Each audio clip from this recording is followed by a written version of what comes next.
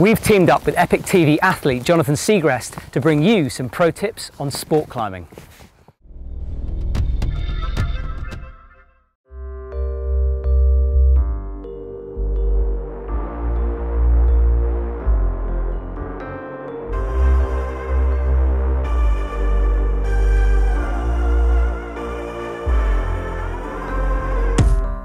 Hey everybody, uh, Jonathan Siegrist here. I'm gonna show you three nifty ways to use a stick clip. Uh, stick clip is basically a really simple tool that I take with me sport climbing every day. It enables me to clip the first draw of a project I'm trying if I'm worried about uh, ground fall. If I wanted to hit the ground every time I fell, I'd be a boulderer. I'm gonna show you how to use this thing. It's awesome. It can help you do three essential things, and that is one is to put a draw and your rope on the first draw. You're gonna take the draw like so and load it into this little device. Pretty simple, like that. This device is gonna hold the gate open for you and also keep the draw nice and sturdy in there.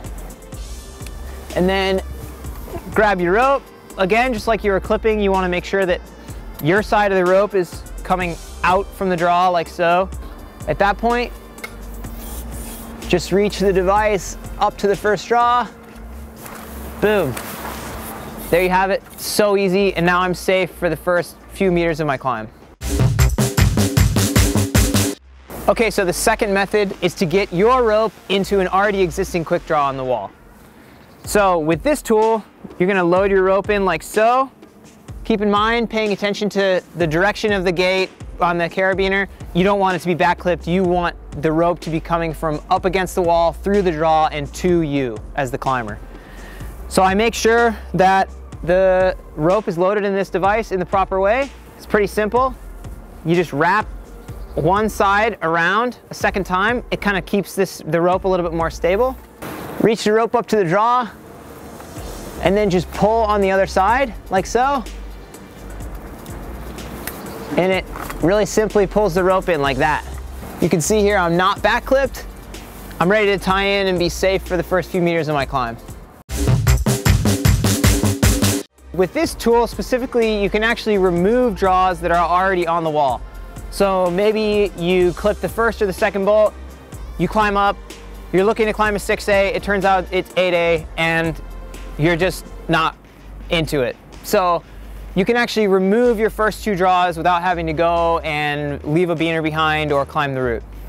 In order to do that, you first need a rope through the draw, like I just showed you in the last one. Now, the reason to have the rope through the draw is you basically just pull down on the draw and apply pressure.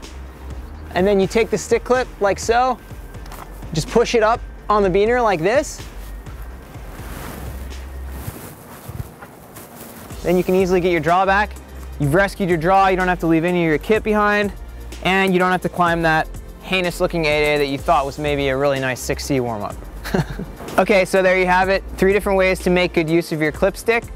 If you want more tips like this, stay tuned to Climbing Daily's coverage of the Arc'teryx Alpine Academy event in Chamonix in June.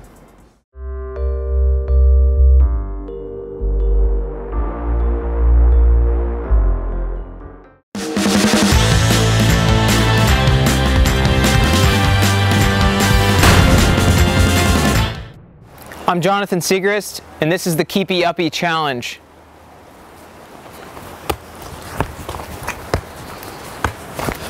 Oh! Five, four.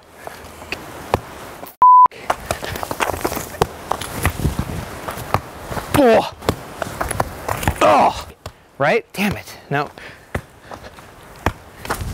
Whoa! not down the...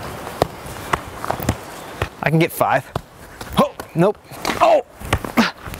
Oh!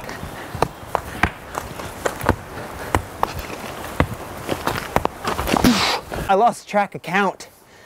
Couldn't count towards the end, there's so many. Oh! What's up? What's up? That's what's up. Keepy Uppy challenge. I'm out.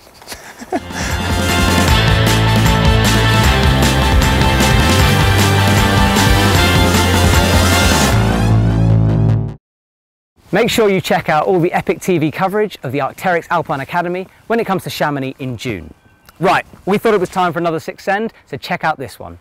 It's Chandler Dub All-Stars 7C Plus at Puzzlebox Roof at Priest Draw.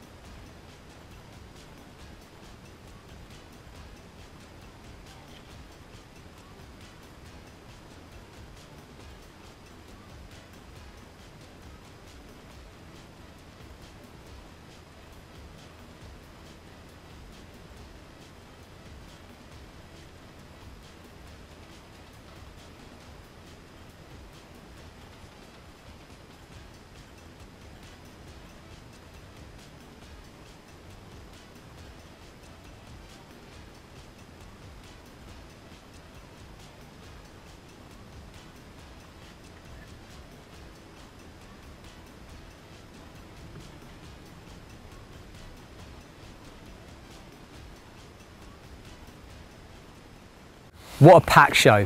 Thanks for watching. See you soon.